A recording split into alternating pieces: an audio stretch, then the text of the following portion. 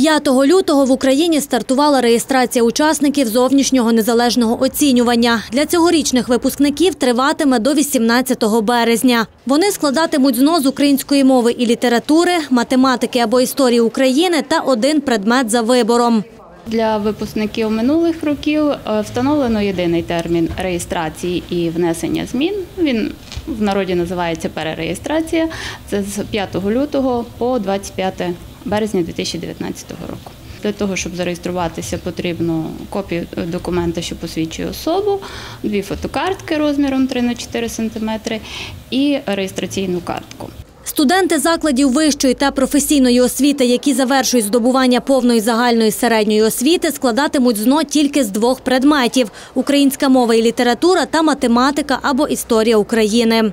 Цьогорічні нововведення при складанні ЗНО стосуватимуться абітурієнтів, які навчалися мовами, що не належать до слов'янських. Для таких учнів встановлять так званий адаптивний поріг – нижчий, ніж звичайний.